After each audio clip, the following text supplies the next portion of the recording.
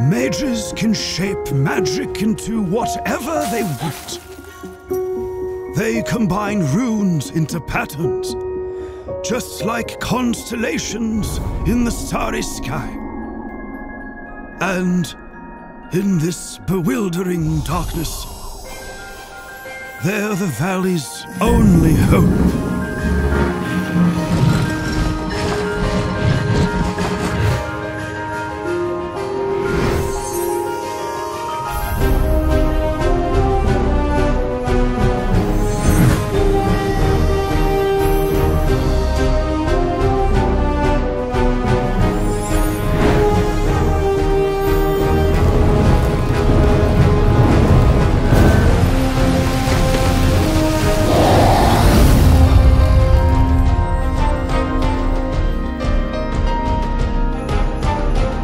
So, tell me, what spells will you create?